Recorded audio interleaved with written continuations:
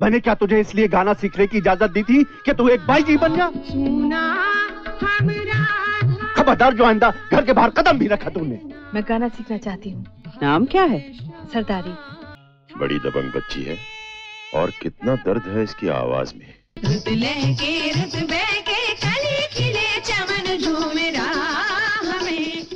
हमारी तरफ़ से इनाम। तुम्हारी तारीफ़ की आड़ में कहीं वो तुम्हें ही ना लूट। अब्बा मेरा गाना बंद करवाने पे तुले हैं मैं सीधा घर से भाग कर आपके पास आई हूँ। इस घर में रहना चाहती हो? ये लड़की यहाँ नहीं ठहरेगी। मैं अच्छी तरह जानती हूँ इसका क्या परिणाम होने वाला है।